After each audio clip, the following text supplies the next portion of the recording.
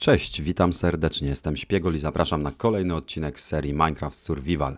Dzisiaj, mm, powiem szczerze, troszkę już mnie trafia szlak z organizacją, więc zajmiemy się budowaniem magazynu. Mam rozwalone rzeczy po wszystkich skrzynkach, po wielu zakątkach tutaj tej naszej startowej bazy. No i czas po prostu zbudować magazyn, a też dawno nic nie budowaliśmy, więc razem sobie w tym odcinku pobudujemy, zrobimy w naszej górze spory magazyn, e, no i przeniesiemy tam wszystkie rzeczy. W końcu będzie porządek, w końcu będę wiedział, gdzie wszystkiego szukać. Zanim jednak przejdziemy do samego budowania, to wielu z Was pyta mnie o e, seed tego świata i koordynaty mojej bazy. Więc pierwsza podpowiedź to powiem Wam, że to wszystko jest w opisie filmu, w opisie filmu, ale tutaj jeszcze na ekranie pokazuję seed, żebyście widzieli, mogli go sobie e, sprawdzić także. No i klikam F3 i koordynaty bazy widzicie minus 100 łamane na 109 łamane na minus 29 czy na minus 30. Tutaj jest ten cliff, a natomiast ta baza jest bardzo blisko spawnu. Gdzieś tutaj jest spawn, jak e, się pojawicie na tym świecie, to od razu właśnie w tym miejscu. Co więcej, niestety znowu miałem pecha, zrobiłem nawet drugi diamentowy kilof, żeby e, żeby e, tą fortunę w końcu, to szczęście na nim się pojawiło, ale jak widzicie mam 27 poziom i niestety była tutaj sama wydajność, po prostu już ją usunąłem. Natomiast ten kilof dzisiaj bierzemy, bo będziemy robić magazyn w górze, więc on nam się przyda, najwyżej go później naprawimy. I tak jak widzicie w moim ekwipunku, bałagan totalny, tak samo w różnych skrzyniach mam tutaj różne rzeczy. Część z tych rzeczy już co tutaj leżały też poprzenosiłem e, tam już na dół e, do wstępnego magazynu, bo taką pierwszą wersję magazynu zbudowałem, tak żebyśmy razem sobie go e, ukończyli i pokażę Wam po prostu jak zrobiłem to, co zrobiłem, czyli pobudujemy dalszą część magazynu. Jak wiecie, ja bardzo e, lubię, bardzo lubię organizować magazyn z ramkami, natomiast tym razem zrobimy to troszkę inaczej. Już pokażę wszystko o co chodzi, ramkę też jedną przykładową, żebyście wiedzieli o co chodzi, jak ja lubię to robić, jak zorganizować magazyn. E, no ale zobaczcie, tu jest po prostu taki bałagan, taki bałagan, że ja wiecznie jak coś chcę zrobić, coś chcę budować, to muszę nabiegać się za tymi skrzynkami e, w różnych miejscach, e, w każdym zakątku, no i poszukać tego, czego potrzebuję. Tutaj jeszcze nam liście nie znikają, mam nadzieję, że tam całe drewno ściąłem. Natomiast tak jak widzicie, tutaj zrobiłem już małe wejście do magazynu, no może nie takie małe, ale to dopiero początek. Dokończymy je sobie jeszcze, bo to nie jest ukończony, ukończony magazyn i znowu tutaj wszędzie jest bałagan. A tak wygląda środek. Zdecydowałem, że zrobię sobie jeden jedno przęsło, jeden taki sektor tego magazynu, żeby Wam na początku pokazać, jak to wygląda i żebyśmy razem sobie na odcinku zbudowali dalszą jego część. Jak widzicie, mamy tu takie filary ze świerku i świerkowego dęba, e, drewna, przepraszam, podpórki, natomiast u góry jest drewno namorzynowe, na dole jest drewno namorzynowe. Chciałem gdzieś to nowe drewno wykorzystać. Wybrałem też sobie dosyć kosztowny tutaj wzór na podłogę, bo ten wzór jest zrobiony za pomocą pieców. Za pomocą pieców. Po prostu wziąłem piec, wstawiłem, żeby mieć taką charakterystyczną, inną strukturę. Natomiast zobaczcie, co się będzie działo z magazynem, jak on będzie zorganizowany. O właśnie w ten sposób. Czyli tu mamy na przykład bruk i tu będą brukowe różne rzeczy. Tu mamy na przykład z cegły coś zrobione i z kamienia, więc tutaj sobie to wstawiamy. I tutaj mam dodatkowe rzeczy. Piach, żwir, ziemia. O, ziemia na przykład możemy sobie tutaj odłożyć i tutaj też rzeczy związane z błotem, z bagnami. Wtedy oznaczyłem to sobie akurat tym razem e, w taki bardzo prosty sposób, czyli blok kojarzący się z daną rzeczą postawiłem na ziemi, żeby nie robić ramek i tabliczek, ale oczywiście możemy to zrobić w ten sposób, e, że by oznaczyć to ramką albo tabliczką. To już kto co woli, tak? Ja akurat e, teraz dla odmiany wybrałem coś innego, ale mogę postawić tutaj sobie ramkę, mogę postawić świerkowe drewno i wtedy wiem, że w tej skrzyni jest świerkowe drewno. Tu tak samo bym sobie wstawił ramkę i na przykład świerkową deskę i bym wiedział, że tutaj jest świerkowa e, deska. Równie dobrze mógłbym postawić tabliczkę i napisać świerkowe pnie. Czy kłody, przepraszam, to się chyba kłody nazywa, kłody. OK. I tutaj też byśmy wiedzieli, że tu są świerkowe kłody i tak sobie tabliczki poustawiać. E, to rozwiązanie z tabliczkami lubię najmniej, bo jak się tu poustawia tabliczki wszędzie e, na całej na wszystkich skrzyniach, to to wygląda mocno średnio. Z ramkami bardzo, bardzo lubię, ale jak jest duży magazyn, to już często się zdarza tak, że, mm, że zaczyna mulić Minecraft po prostu, najzwyczajniej w świecie. Zaczyna mulić, bo jest zbyt dużo elementów blisko siebie. Co prawda teraz już mam nowy komputer, więc nie powinno tutaj być żadnego problemu i powinno to chodzić bardzo dobrze. Natomiast e, a, dla odmiany stwierdziłem, że zrobimy sobie właśnie e, taką rzecz. Mamy też skrzynki tutaj, znaczy beczki na dole w filarach, gdzie też będzie można sobie coś pochować. No i tak będzie wyglądał nasz magazyn. I teraz co oczywiście najpierw musimy sobie zrobić e, trochę wykopać, że tak powiem, e, przestrzeni. Tutaj widzicie między słupem a słupem jest raz, dwa, trzy, cztery, pięć. Pięć e, kratek, więc tu sobie zrobimy. Specjalnie już wziąłem lepszy kilo, żeby nam to lepiej poszło. Trzy, cztery i pięć. I tam będzie następny słup. Musimy sobie wykopać tutaj po prostu dziurę. Oczywiście to będzie z obu stron, czyli tutaj też dwie kratki mamy wykopane, trzecią, czwartą i piątą. Nie? I tutaj możemy wtedy sobie to połączyć i będziemy wiedzieć, jak to, e, jak to kopać, no bo będzie już pięć kratek. Trzeba tu sobie to troszkę oświetlić, żeby nam się nic podczas budowy nie pojawiło. Tutaj jakiś mob e, agresywny więc trzeba to sobie oczywiście oświetlić. No i teraz jak robimy raz, dwa, trzy, cztery, pięć przerwy, raz, dwa, trzy, cztery, pięć przerwy, to wiemy, że tu będzie słup i tu będzie trzeba postawić e, słupek, do którego potrzebna nam jest oczywiście beczka i do którego będą potrzebne świerkowe e, pnie. Przy okazji sobie trochę bruku nazbieramy na piece, na podłogę, no bo one będą mocno potrzebne i ten węgiel też by się przydało stąd zebrać, no bo szkoda go, szkoda go zostawiać, więc to sobie zakleimy po prostu brukiem i tutaj będzie słup i tu będzie słup. No dobra, to teraz, żeby nie zanudzać Was, to po prostu wykopię dziurę taką, jaką potrzebujemy pod, tą, e, pod ten magazyn, pod kolejną część e, naszej przechowalni rzeczy. No i ok, mamy wykopaną samą dziurę. Będzie mniej więcej takiej wielkości potrzebna. 5 e, między filarami, 5 między filarami, 5 między filarami. E, do góry tutaj jeszcze będziemy na pewno o tutaj kopać więcej pod sufit, e, żeby te deski sobie położyć. Natomiast tutaj jak widzicie w głąb mamy dwie kratki głębokości, żeby zmieścić skrzynię, żeby zmieścić skrzynię, ale wszystko po kolei. Najpierw zrobimy filary, żeby nam się tutaj to na głowę wszystko nie zawaliło.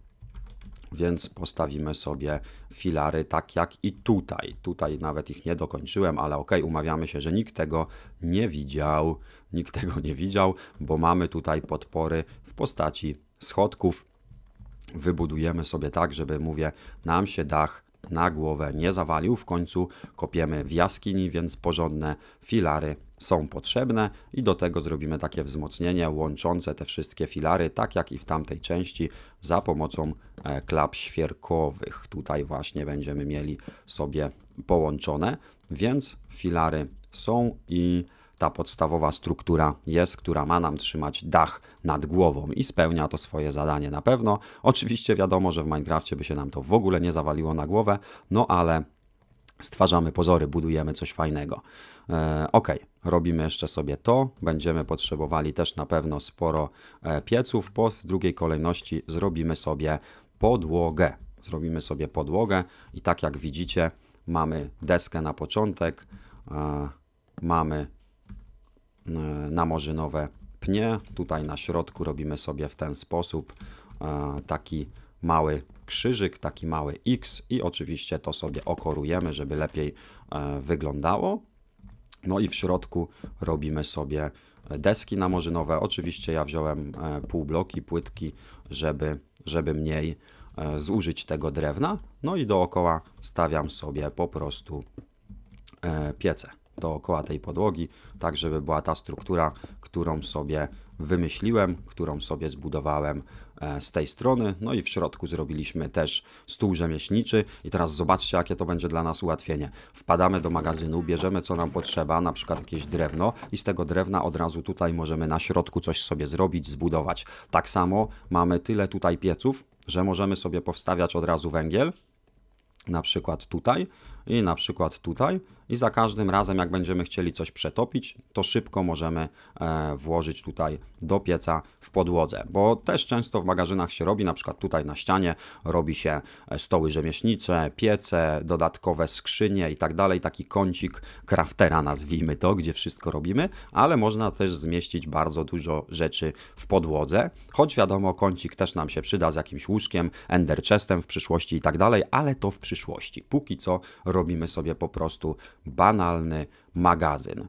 E, ok, mamy to i na pewno będziemy potrzebowali mm, obramowania z cegieł, więc będą nam potrzebne cegły, będą nam potrzebne różne bloki, bo tak jak tutaj widzicie, obok skrzyń zrobiłem cegły, żebyśmy mogli e, ładnie ładnie też to wyglądało, żeby nie było aż tak szaro prosto, więc tutaj robimy sobie taki e, filar z cegieł, aczkolwiek tam tego nie będzie widać, więc to może być w ten sposób. I robimy sobie u góry schodki, takie niepełne bloki, żeby móc otwierać skrzynię, bo zobaczcie, teraz otwieramy sobie skrzynię normalnie. Gdybyśmy tu mieli pełne bloki, to ta skrzynia by się nie otworzyła. Gdyby to był na przykład taki e, blok cegły, to by się nie otworzyła, więc musiałem zrobić tam u góry w ten sposób, żeby nam się skrzynie otwierały. I teraz, żeby to też ładnie wyglądało u góry, robimy sobie tutaj po prostu całe mm, tak schodkami w ten sposób. Robimy, czekajcie, o tak. Robimy sobie schodki, a tutaj damy płyty. I wtedy mamy nad skrzyniami wszędzie bloki takie niepełne, które e, spowodują, że spokojnie będziemy mogli e, otworzyć mm, nie tak zrobiłem oczywiście, bo to trzeba w dobrym miejscu kliknąć. E, dzięki temu będziemy mogli swobodnie otwierać wszystkie skrzynie. E, dobra, zabraknie nam tych troszkę schodków, ale to bez problemu, bo oczywiście bliziutko mamy stół rzemieślniczy. Bardzo bliziutko. Wszystko jest zaplanowane. Tutaj wkładamy sobie cegły ponownie. Tego nie będzie widać dostawiamy, no i płytki. I w ten sposób mamy zrobione miejsce na, mm, na skrzynię. Tutaj jeszcze też, żeby to troszeczkę ładniej wyglądało, troszeczkę bardziej urozmaicone było, zrobimy sobie namorzynowe drewno. Te akcenty namorzynowego e, drewna też chcemy, żeby były, ale też nie chcemy tracić zbyt dużo drewna, więc zrobimy sobie to w ten sposób. Pach, Mamy płyty znowu i robimy sobie w ten sposób z jednej, z drugiej strony. Wybudujemy e, i wtedy w sumie wszystko jest gotowe, bo tam tyłu i tak nie widać, więc zostawiam go po prostu szarego, e, szare, e, szary tył i robimy sobie już skrzynie praktycznie. Skrzynie mamy na pewno troszkę już ich gdzieś tam schowanych, dokładnie jak widzicie tutaj troszkę jest, ale będę używał oczywiście przede wszystkim do nich e, brzozowego drewna, bo mamy tutaj brzozowy las, tego brzozowego drewna e, do niczego, oj nie tak, do niczego innego nie stosuję. E, znaczy nie wykorzystuję w budynkach, nie jest to zbyt piękne drewno, więc można wykorzystać je do Mm, robienia skrzyń, beczek i tego typu rzeczy. No i tu oczywiście stawiamy sobie wszędzie skrzynię. O, zobaczcie, i ta skrzynia się teraz otwiera, bo wchodzi w półbloki, wchodzi w e, schodki, więc spokojnie może się otworzyć. Tutaj musimy budować oczywiście z shiftem, bo inaczej byśmy otwierali skrzynię, więc trzeba kucnąć i tutaj łączyć skrzynię w ten sposób. Jak widzicie, e, no, dużo drewna pójdzie przede wszystkim na skrzynię, nawet powiedziałbym, że bardzo dużo ok, w ten sposób i już nam praktycznie, zobaczcie, cały stak poszedł e, drewna na tylko taki e, kawałek, więc no trzeba tutaj się naprawdę nagimnastykować z tym.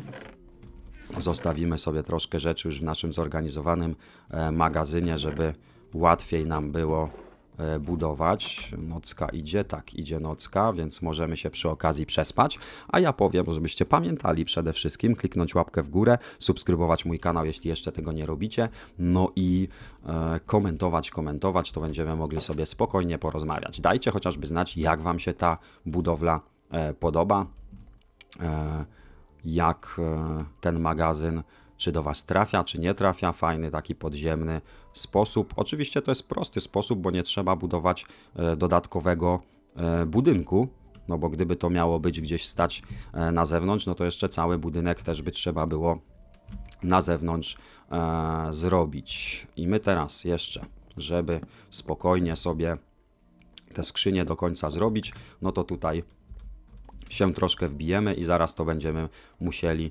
odbudować. Odbudować, więc zrobimy sobie w ten sposób. Pak.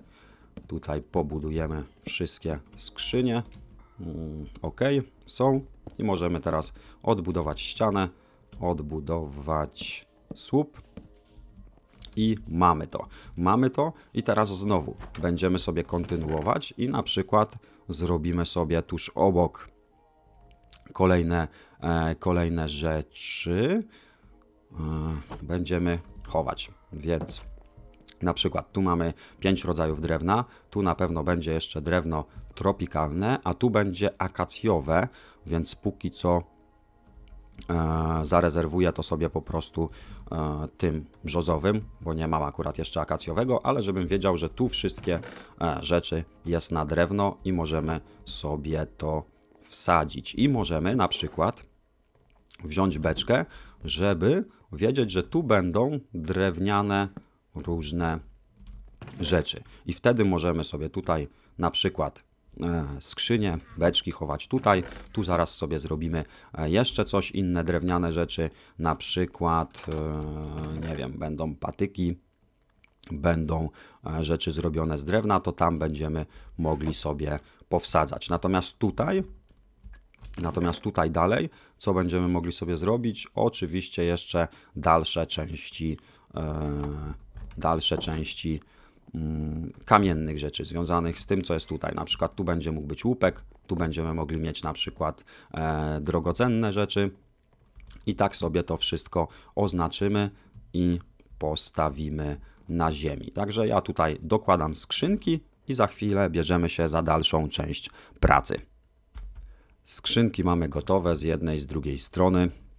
Organizacja też, e, zobaczcie, coś tutaj dołożyłem, tu będą drewniane rzeczy, tu będą rzeczy związane właśnie z liśćmi, roślinnością, pnączami i tego typu rzeczami. Tutaj na przykład siano i być może jakieś inne roślinne rzeczy. E, a tu zrobiłem właśnie, o mamy mm, łupek, mamy rzeźbiony jakiś tam łupek, tuf i mamy bloki nacieku, czyli wszystko gdzieś tam znalezione w jaskini głęboko. E, węgiel, redstone, miedź, te podstawowe, a tutaj już złoto, żelazo, e, diamenty, te będą droższe rzeczy, a tu jeszcze nie postanowiłem co będzie, więc na razie wstawiłem po prostu cegły. Jedyne jeszcze co nam zostało we wnętrzu to po prostu zrobienie dachu. Zrobienie dachu też postanowiłem wykorzystać namorzynowe e, drewno, żeby ten akcent takiej czerwieni e, był, skorzystamy sobie, no skoro mamy w nowej wersji nowe drewno, to trzeba z niego korzystać. Jak widzicie ułożyłem taką ramkę, kolejną ramkę układam pół bloku wyżej najzwyczajniej w świecie i tutaj jeszcze, żeby troszeczkę ładniej to wyglądało, wstawiamy cegły i wieszamy e, latarnię. Wieszamy latarnię i w ten sposób mamy kolejne przęsło gotowe i tak jak widzicie wnętrze magazynu wygląda coraz lepiej, coraz lepiej, e, coraz ładniej, no i będziemy to sobie rozbudowywać. Będziemy to sobie rozbudowywać, będziemy to pchać tam dalej, w tamtą stronę, robić kolejne takie przęsła, tak żeby wszystko, co nam potrzeba, zmieściło się właśnie tutaj. Bardzo możliwe, że przebijemy się tam na drugą stronę góry i będziemy mieli przy okazji tunel do przejścia, tam do dżungli z drugiej strony i bardzo możliwe, że zrobimy odnogi gdzieś w bok, w jedną, w drugą stronę, na środku jakąś tam mini kraftową bazę, plus odnogi w lewą i prawą stronę, ale generalnie cały magazyn będzie wyglądał tak jak widzicie e, tutaj. Nawet mogę go Wam pokazać o tak w całej okazałości, e, żebyście widzieli bez przeszkadzajek. Natomiast o ile dobrze kojarzę, to na zewnątrz czyha na nas wróg. O, tak właśnie go tam widzę. Widzicie, schował się, no bo zostało nam jeszcze na zewnątrz dokończyć e, to wejście, ale zanim je dokończymy, no to widzicie, oczywiście musimy tutaj się z panami uporać. Także spróbujemy zrobić obronę, ok. Teraz jeden niech strzeli w drugiego, tak, to też nam trochę pomoże. Ok, i szybko załatwiony jeden jegomość.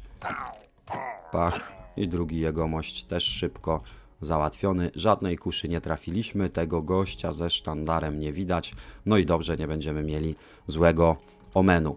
E, natomiast zostało nam tutaj e, zewnętrzna część. Na pewno będziemy e, tutaj robić jakiś mały daszek nad tym, myślę. Przygotuję sobie materiały, pomyślę jak to zrobić, bo tego jeszcze nie ćwiczyłem i do Was wrócę, ale zobaczcie tylko na sam początek ścieżkę dociągnąłem do końca. Tutaj zrobiłem już kłody, żeby troszkę to odciąć. To jest wszystko zrobione z namorzynowego drewna. Nad drzwiami jest schodek do góry nogami, żeby dodać trochę głębi e, i po prostu mm, zapadnie. Klapy też położyłem, żeby troszkę było urozmaicenia. No i kolejna warstwa tu jest namorzynowe. Jedna warstwa z przodu jest ceglana, kamienna po prostu i jedna warstwa z przodu mamy drewniane filary, więc jest to zrobione z drewna i w ten sposób będzie wyglądało, a zaraz zobaczymy jak sobie tutaj dokończymy górę, tylko przydałoby się ten bałagan stąd wynieść, żeby nam nie przeszkadzał i żebyśmy już widzieli e, jak to będzie całość wyglądała. Także przygotuję sobie materiały i za chwilę wracam. Ach, jeszcze żebym nie zapomniał o jednej rzeczy. Jeśli chcecie w jednej skrzyni sobie przechowywać dwa różne, dwie różne rzeczy, na przykład piasek i żwir, coś co jest e, no, blisko siebie, nazwijmy to, po prostu to fajnie to sobie reorganizować w ten sposób, że o, klikamy prawym przyciskiem myszy, mamy piasek, klikamy prawym przyciskiem myszy, mamy e, żwir, w ten sposób ułożony, bo wtedy, gdy przyjdziemy sobie z piaskiem i żwirem, to to już ma swoje miejsce wyznaczone i teraz piasek przenosimy, pojawia się u góry, przenosimy żwir, od razu jest na dole. Nie musimy tego ponownie układać, więc ja bardzo często właśnie w ten sposób sobie organizuję e, przestrzeń, żeby tak to wyglądało, żeby te rzeczy odpowiednio się układały, układały, nie? Jeśli coś jest dwie różne rzeczy w jednej skrzyni, to można to właśnie w ten sposób układać. Na przykład, o tu mamy kalcyt i dioryt jako dwa jasne, białe bloki użyłem. No dobra, szykuję się dalej do budowania zewnętrznej części. No dobra, i już zamysł jest. Bardzo prosty zamysł, bo nie chciałem tutaj przykombinować przy, pierwszym, e, przy pierwszej strukturze w mieście, że tak powiem, więc bardzo prosty daszek, równy daszek, e, z tyłu jakieś drewniane tło i myślę, że to będzie ok. Oczywiście musimy to zrobić z drugiej strony i jeszcze troszeczkę, że tak powiem, ładnie e, dopieścić, dopieścić szczegółami, żeby to wyglądało jeszcze lepiej. Więc teraz tak. Przede wszystkim robimy sobie tutaj małe schody, wchodzimy do góry i musimy sobie uzupełnić tutaj e, przestrzeń z tyłu. To niepotrzebnie niszczyłem. Uzupełniamy sobie przestrzeń z tyłu, uzupełniamy sobie tutaj jeszcze filar, żeby był do góry. E, tutaj musimy dać drewno jeszcze dębowe, bo też je wykorzystałem, żeby było trochę kontrastu, żeby było troszkę różnych e, kolorów. No i tutaj mamy oczywiście e, płyty, płyty ciemnodębowe. Też mówię, żeby te kolory były naprawdę różne i zobaczcie, w ten sposób e, sobie to robimy najzwyczajniej w świecie i musimy przejść jeszcze na boczek. Na boczek przejdziemy. E, dobra, troszkę się odsuniemy, żeby łatwiej nam było budować. I teraz z boku, o tutaj nam się kończy ściana, więc będzie to być może trzeba zrobić troszeczkę inaczej niż z drugiej strony. No ale dobra, tutaj dajemy płotek. Tu dajemy też płotki, żeby to wyglądało w ten sposób. Czy ja mogę zebrać tą ziemię stamtąd, bo mnie będzie tu irytowała, że nam tutaj e, pływa. Więc trzeba ją sobie e, zebrać. Jest ok, zebrana. I tu to samo trzeba zrobić, trzeba to zebrać. Ok, mamy to. I teraz tutaj. Tutaj powinien być daszek już sobie wskoczę do góry, zobaczę jak to z drugiej strony wyglądało, żeby było po prostu symetrycznie. Czyli tu mamy L, zobaczcie, takie podwyższenie. Ok, bo tak, bo tutaj jest pień, to żeby go zasłonić i później tu jest jedno niżej i jedno niżej. Czyli tutaj powinien być daszek jeden niżej, o tak i ten daszek, e, czekajcie, coś nie tak, tu L, tu też powinien być daszek, tak? Tak, obok pnia, dobra. Obok pnia powinien być yy, daszek. Czyli co? Czyli tutaj. Hmm. O tak, w ten sposób. Ten sposób. Jeszcze się upewnię, słuchajcie, bo to ta symetria mnie zawsze dobija, jak to wygląda. Później będzie trzeba to wszystko skasować. Yy, a nie, patrzcie, tu jest daszek, tu się zaczyna jedno wyżej. Yy czyli nad tym płotkiem, ale nie, to dobrze zrobiłem. Ok, wygląda to tak samo. Wszystko gra. Na dole mamy to i mamy to.